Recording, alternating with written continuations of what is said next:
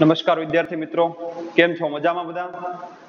છેલ્લે આપણે રાસાયણિક સંયોગીકરણની અંદર, કે જે વાત કરી હતી, રાસાયણિક સંયોગીકરણના નિયમો લો ઓફ કેમિકલ કોમ્બિનેશન એના વિશે ચર્ચા કર્યા બાદ મિત્રો, જે એની અંદર ચાર નિયમો જોયા હતા આપણે, કે દળ સંચયનો નિયમ, એન્ટોની લેવોઝિયરે, નિશ્ચિત પ્રમાણનો નિયમ ગુણક પ્રમાણનો નિયમ, તો કે નિશ્ચિત પ્રમાણનો નિયમ અને ગુણક પ્રમાણનો નિયમ જે જોયો તો આપણે, જોસેફ પ્રાઉસ્ટ અને જ્હોન ડાલ્ટન. પછી ત્યારબાદ જે ગેલ્યુશેકનો વાયુમય કદનો નિયમ, ચોથો નિયમ જોયો હતો, એના વિશે ચર્ચા કર્યા બાદ આપણે હવે વાત કરવાના છીએ જે પાંચમો નિયમ. તો કે એ એમિડો એવોગેડ્રો આપ્યો છે. એટલા માટે એને એવોગેડ્રો નિયમ તરીકે પણ આપણે ઓળખી શકીએ. આમ તેનું નામ બહુ મોટું છે, પરંતુ શોર્ટમાં આપણે એમિડો એવોગેડ્રો કહી શકીએ આપણે. તો કે રાસાયણિક સંયોગીકરણના નિયમોની અંદર પાંચમો નિયમ જે છે એવોગેડ્રો નિયમ. આમ તો મિત્રો વાત કરીએ તો આપણને આ બધા નિયમો છે, બહુ ટૂંકાણમાં આપેલા છે. ખરેખર આ બહુ વિસ્તૃત રીતે બહુ તમે આગળના ધોરણની અંદર, એટલે કે આગળના અભ્યાસક્રમમાં, ઉચ્ચતરમાં તમે ભણશો એની અંદર આવશે. પણ ખાલી સંક્ષિપ્ત સ્વરૂપમાં જે નિયમો આપણે દર્શાવ્યા છે. રેડી તો અઢારસો ને અગિયારની અંદર, એમિડો એવોગેડ્રોએ કે એમિડો એવોગેડ્રોએ શું સૂચવ્યું કે ભાઈ, એમિડો એવોગેડ્રોએ સૂચવ્યું કે સમાન તાપમાને અને દબાણે એટલે કે જો તાપમાન અને દબાણ સમાન, પણ આ મિત્રો જેમ આપણે ગેલ્યુ છે કે વાયુ વિશેની જ વાત કરી હતી આપણે, કે ભાઈ, સો કદ છે એ હાઇડ્રોજન, એટલે કે સો એમએલ હાઇડ્રોજન, પચાસ એમએલ ઓક્સિજન સાથે પ્રક્રિયા કરે, ત્યારે સો એમએલ પાણી જે ઉત્પન્ન થતું હતું બરોબર? એની જેમ જ. તો કે એમણે સૂચવ્યું કે સમાન તાપમાને અને દબાણે, તાપમાન ને દબાણ સમાન છે અને વાયુઓના સમાન કદ. જો વાયુઓ છે ને, એના કદ મિત્રો સમાન રાખવાના છે.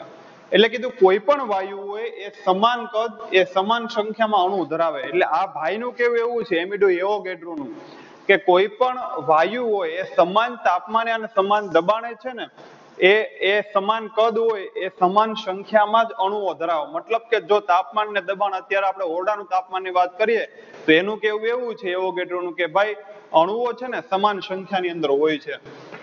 રેડી તો એવોગેડ્રો એ પરમાણુ શું છે અને અણુ શું છે? એ વચ્ચે ભેદ સમજાવ્યો કે જે આપણે હાલના સમયમાં આપણે સ્પષ્ટ સમજી શકીએ. તમને એમ કહું કે ભાઈ ઓક્સિજન પરમાણુ એટલે શું ને ઓક્સિજન અણુ એટલે શું? તો તમે કહી શકો સાહેબ, ઓક્સિજન જે તત્વ છે એ પરમાણુ છે અને બે ઓક્સિજન પરમાણુ ભેગા થાય અને અણુ બને છે. એ આપણે સ્પષ્ટ સમજી શકીએ, પણ એ સ્પષ્ટ સમજી શું કામ શકીએ? તો કે એવોગેડ્રોના આધારે આપણે. તો હવે એને એક પ્રયોગના આધારે દર્શાવ્યું છે કે એને ફરીથી આપણે જો હાઇડ્રોજન જે આપણે ગેલ્યુશેકના નિયમમાં ભણી ગયા હતા કે હાઇડ્રોજન અને ઓક્સિજન બે સંયોન જાય, ભેગા થાય બરોબર, પાણી બને છે તો આપણે એ જ પ્રક્રિયાનો ફરીથી મિત્રો વિચાર કરીએ.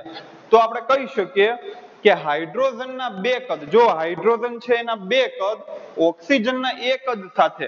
એટલે એને આમ અણુ કે પરમાણુ સ્પષ્ટ નથી કર્યું, ખાલી એમ કીધું છે કે હાઇડ્રોજન છે એના બે કદ. એટલે કે માનો કે બે ક્યુબ ધરાવતો હાઇડ્રોજન છે અને એક ક્યુબ ધરાવતો ઓક્સિજન હોય.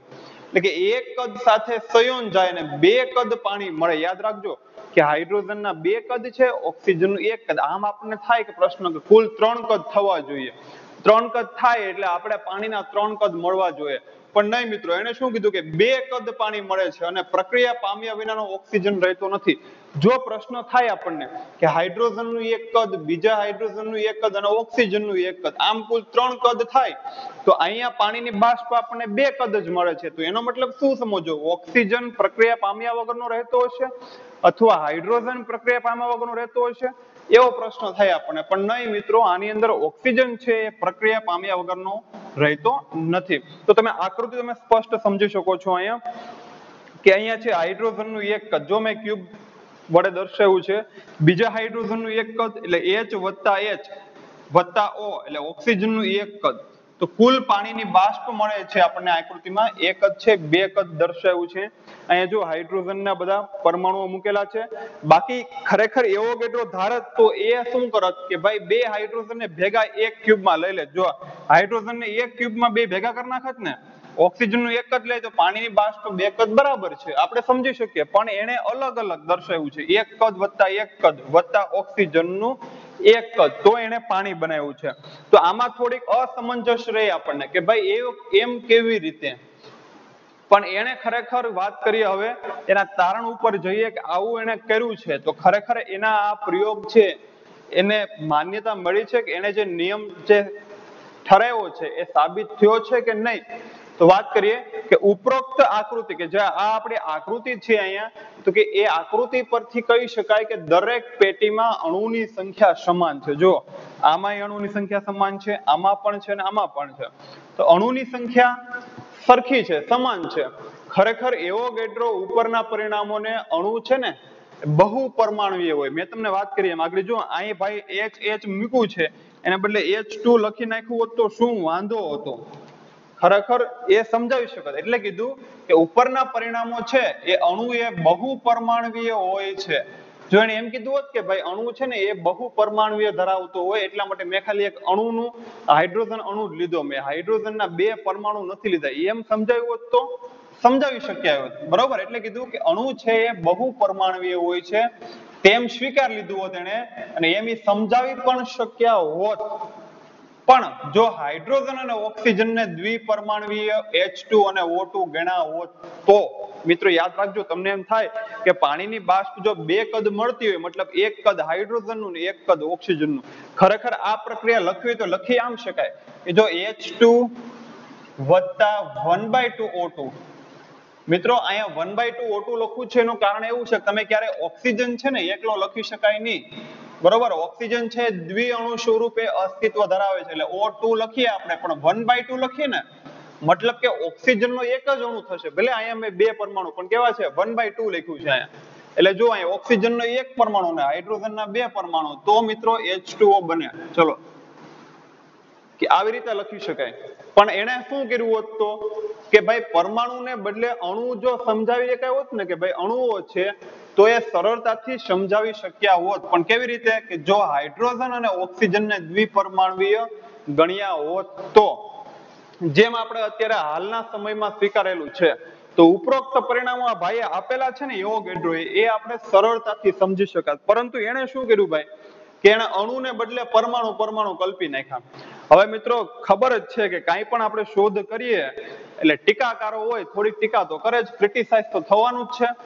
ઉદાહરણ તરીકે વાત કરીએ આપણે કે આ ભાઈ એમિડો એવો કેટલું એમ કીધું કે હાઇડ્રોજનનો પરમાણુ અને હાઇડ્રોજનનો પરમાણુ બે ભેગા થયા. હવે ડાલ્ટન ભાઈ એવું છે, કારણ કે ડાલ્ટને છે ને ભાઈ એટમ પરમાણુ વિશે સારામાં સારી સંકલ્પના આપી. તો ડાલ્ટનનું કેવું એવું હતું, ક્યારે પરમાણુ પરમાણુ બધી પ્રક્રિયા ન કરે. ડાલ્ટને સાચો હતો ભાઈ. પણ ખરેખર એમિડો એવો કેટલો એ બે પરમાણુ અલગ અલગ દર્શાવ્યા. એની જગ્યાએ ખાલી એક અણુ લખી નાખ્યો હોત ને, મેં જે દર્શાવ્યો એચ ટુ તો એ સરળતાથી આખે આખો પ્રયોગ છે ને સમજાવી શક્યા હોત અને પાણીની બે કદની બાષ્પ મળે, એ પણ એ પ્રૂવ કરી શક્યા હોત. પણ જુઓ મિત્રો અહીંયા, પરંતુ તે સમયે ડાલ્ટન અને અન્ય વૈજ્ઞાનિકો માનતા હતા કે એક જ પ્રકારના પરમાણુઓ એકબીજા સાથે સંયોજાઈ શકે નહીં.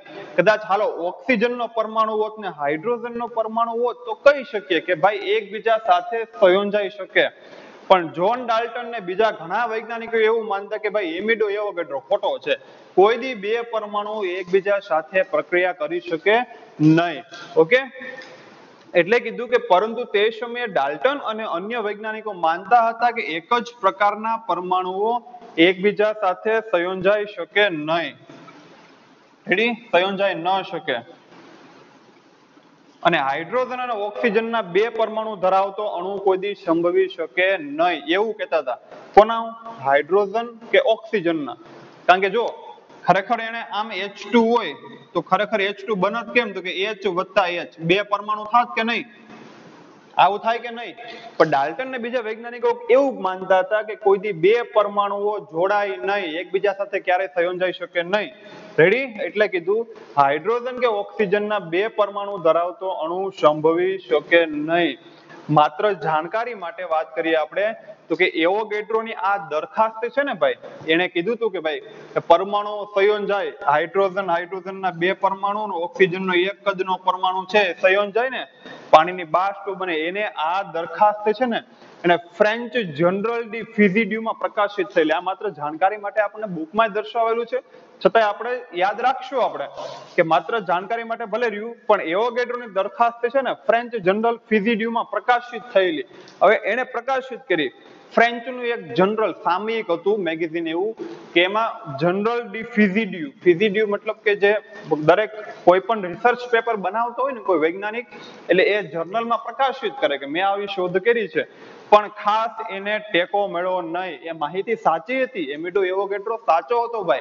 બરોબર? છતાં પણ એની આ દરખાસ્ત છે, એને ખાસ ટેકો મળ્યો નહોતો. પછી શું થાય ભાઈ?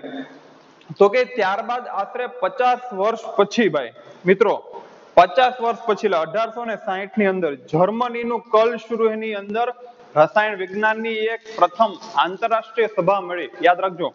રેડી એટલે પચાસ વર્ષ પછી જર્મનીના કલશુહેની અંદર કે ભાઈ રસાયણ વિજ્ઞાનની પ્રથમ આંતરરાષ્ટ્રીય કોન્ફરન્સની એક સભા ભેગી થઈ. આ સભા ભેગી થઈ ને જ્યારે આંતરરાષ્ટ્રીય વૈશ્વિક લેવલે ત્યારે એનો એક વૈજ્ઞાનિક, સ્ટેનિસ્લાવો કેનિઝારો, આમ તો કેનિઝારોની પ્રક્રિયાઓ ઘણી બધી ભણવામાં આવે છે રસાયણ વિજ્ઞાનની અંદર, પણ વૈજ્ઞાનિકનું નામ છે સ્ટેનિસ્લાવો કેનિઝારો.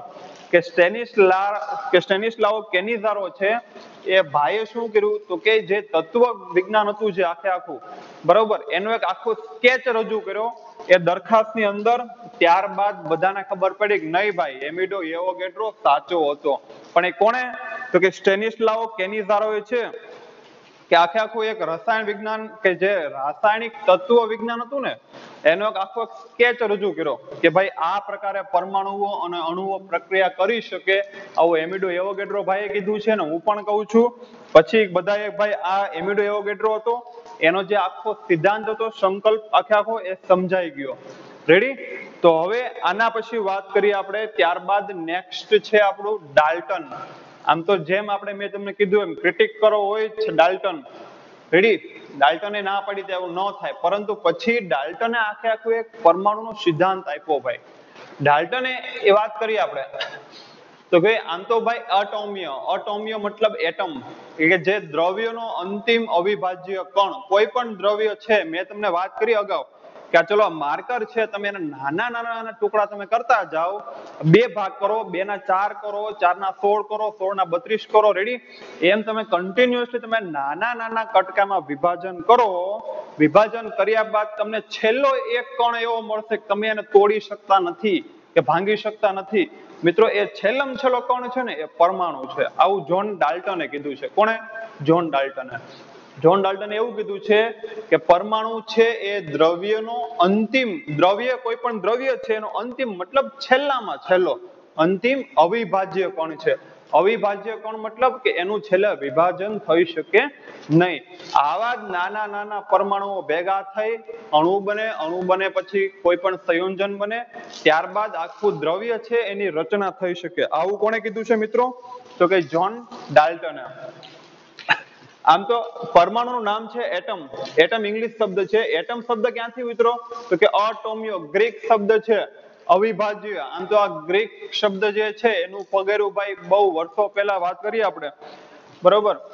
કે ગ્રીક તત્વ વિજ્ઞાની ડેમોક્રિટ્સ, એટલે કે ત્રણસો સિત્તેર ઈસવીસન પૂર્વે, એની તરફ આ એટમનું એક પગેરું જોવા મળે છે.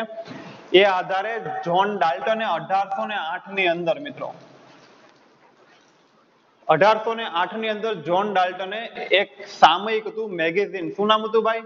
A new system of chemical philosophy. એટલે કે આખી એક નવી પદ્ધતિ છે, બરોબર? કે રાસાયણિક તત્વ વિજ્ઞાનની પદ્ધતિ, નવી પદ્ધતિ, કેમિકલ ફિલોસોફી. એટલે કે રાસાયણિક તત્વ વિજ્ઞાન જે છે, એની એક નવી પદ્ધતિ, એની અંદર જોન ડાલ્ટને થોડાક પરમાણુઓ વિશે જે છે, માહિતી રજૂ કરી છે. એ માહિતી આપણને અહીંયા ટેક્સ્ટ પણ દર્શાવેલી છે. તમે આપણે એના વિશે ચર્ચા કરીએ.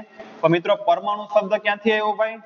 તો કે પરમાણુ છે, એ ગ્રીક લેટિન બે ગ્રીક શબ્દ છે. એટમ એટમ મતલબ અટોમિયો, અવિભાજ્ય. અટોમિયો, અવિભાજ્ય. એના ઉપરથી એટમ શબ્દ ઉતરી આવ્યો છે. રેડી? હવે એને મિત્રો, ચાર જે સિદ્ધાંતો રજૂ કર્યા આપણી સમક્ષ, એની વિશે ચર્ચા કરીએ. તો કે દ્રવ્ય છે અવિભાજ્ય પરમાણુઓનું બનેલું છે. મેં જે તમને વાત કરી છે કે પરમાણુ છે, દ્રવ્યનો અંતિમ અવિભાજ્ય કણ છે. તો પહેલી સંકલ્પના થઈ ગઈ ભાઈ. તો કે દ્રવ્ય શું છે ભાઈ? તો કે કોઈ પણ દ્રવ્ય છે એ અવિભાજ્ય પરમાણુનું બનેલું છે. હાલો, આ પહેલી સંકલ્પના થઈ ગઈ આપણે. બીજી વાત કરીએ એને, આપેલ તત્વોના બધા જ પરમાણુ. કોઈ પણ તત્વ હોય, એના દરેક પરમાણુઓ હોય એ સમાન ગુણધર્મ ધરાવે. ઉદાહરણ તરીકે તમને એમ કહી દઉં કે ભાઈ એક લીટર હાઇડ્રોજન છે, એક લીટર હાઇડ્રોજનમાં જેટલા હાઇડ્રોજન પરમાણુ ભરેલા હોય ને, માનો કે તમને એમ કહું કે ભાઈ તમારી પાસે એક પાણીનો ગ્લાસ છે. પાણીના ગ્લાસની અંદર જે H2O રહેલું છે, હાઇડ્રોજન અને ઓક્સિજન, એમાં હાઇડ્રોજન અણુ સ્વરૂપે છે H2 સ્વરૂપે મેં વાત કરી એમ. તો કે એમ હાઇડ્રોજનના દરેક પરમાણુઓ, ભલે એમાં લાખો હોય, કરોડો હોય કે અબજો હોય, દરેક પરમાણુઓ હોય છે એ દરેક પરમાણુઓ સમાન ગુણધર્મ ધરાવે છે. અને જુદા જુદા તત્વો, જેમ કે હાઇડ્રોજન કે ઓક્સિજન, એ તત્વોના પરમાણુઓ હોય ને, એના દળ જુદા જુદા હોય. તો કેવી રીતે? તો મિત્રો H2O છે, પાણીનું દળ કેટલું? તો તમે કહી શકો કે હાઇડ્રોજનનું દળ એક છે, ઓક્સિજનનું દળ છે સોળ. એટલે ઓક્સિજનનો પરમાણુ થોડોક વજનદાર છે. એટલે કે ઓક્સિજનનું દળ છે સોળ એટોમિક માસ યુનિટ અને હાઇડ્રોજનનું છે એક યુનિટ. રેડી એટલે કીધું, જુદા જુદા તત્વો છે, એના પરમાણુનું દળ પણ કેવું હોય? જુદું જુદું હોય. ચલો, ત્રીજી સંકલ્પનાની વાત કરીએ આપણે, કે જ્યારે જુદા જુદા તત્વોના પરમાણુઓ, હવે ચલો, અલગ અલગ તત્વો છે. હાઇડ્રોજન, ઓક્સિજન, નાઇટ્રોજન, કોઈ પણ, એ કોઈ નિશ્ચિત પ્રમાણમાં જોડાય. તમને એમ કહો, ચલો, હાઇડ્રોજન પરમાણુ અને ઓક્સિજન પરમાણુ, ટુ જેમ વનથી જોડાય, ત્યારે શું બને? તો તમે કહેશો કે સાહેબ, પાણી બને છે. તમને એમ કહો, હાઇડ્રોજન અને નાઇટ્રોજન બે જોડાય તો શું બને? તો તમે કહેશો કે ભાઈ, એમાઇન સંયોજન, એમિનો સંયોજન કે કદાચ એમોનિયા બની શકે. રેડી એટલે કીધું આની અંદર કે જ્યારે જુદા જુદા તત્વોના પરમાણુઓ છે, કોઈ નિશ્ચિત પ્રમાણમાં, એટલે કે નિશ્ચિત પ્રમાણનો નિયમ આપણે જોસેફ પ્રાઉસનો, ગુણક પ્રમાણનો નિયમ આપણે ભણી ગયા છીએ. બરોબર, ડાલ્ટનનો. એની જ વાત કરીએ કે નિશ્ચિત પ્રમાણમાં જોડાય ત્યારે સંયોજન બને છે. ઓકે ચલો, ચોથી સંકલ્પના છે કે રાસાયણિક પ્રક્રિયામાં પરમાણુઓની ફેર ગોઠવણીનો સમાવેશ થાય. ઉદાહરણ તરીકે વાત કરીએ, અહીં જો આ પરમાણુઓ છે, હાઇડ્રોજન અને ઓક્સિજન, રેડી? હવે એની ફેર ગોઠવણી મતલબ કે એકબીજા સાથે જોડાય કે બદલાવ એમાં ને એમાં બાર નહીં. ફેર ગોઠવણી થશે પરમાણુઓની. પણ એને રાસાયણિક પ્રક્રિયા દરમિયાન ઉત્પન્ન નથી કરી શકાતો અથવા તો નાશ પણ નથી કરી શકાતો. તમને એમ થાય કે ચલો H2 અને O2 ભેગા થાય અને પાણી બન્યું, કદાચ H2O લખ્યું કે હું O આવી રીતના દર્શાવી શકું કે ભાઈ આમે કદાચ બન્યું હોય OH પાણી બન્યું છે. એટલે ફેર ગોઠવણી હાઇડ્રોજન છે, અહીંયા ફેરવી શકાય. પરંતુ તમને એમ થાય, હાઇડ્રોજન દૂર કરી દેવો, નાશ કરી નાખવો, તો એ નાશ કરી શકાતો નથી. તમને એમ થાય કે મારે હજી ત્રીજો હાઇડ્રોજન ઉત્પન્ન કરવો અહીંયા, તો એમ ઉત્પન્ન થઈ શકે નહીં. એટલે વાત કરીએ મિત્રો આની અંદર કે ભાઈ, રાસાયણિક પ્રક્રિયા છે, એમાં પરમાણુઓની ફેર ગોઠવણીનો સમાવેશ થાય, પણ તેને રાસાયણિક પ્રક્રિયા દરમિયાન ઉત્પન્ન કરી શકાતો નથી.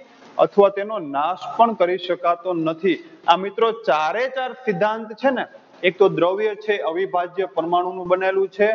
બીજું કીધું કે દરેક તત્વ છે, કોઈ પણ તત્વ એના બધા જ પરમાણુઓ સમાન ગુણધર્મ ધરાવે. અને અલગ તત્વના પરમાણુઓ છે, એના પરમાણુ દળ પણ જુદા જુદા હોય છે. પછી કીધું કે જ્યારે કોઈ પણ તત્વ છે, અલગ અલગ તત્વો નિશ્ચિત પ્રમાણમાં જોડાય, ત્યારે કોઈ એક સંયોજન બનાવે.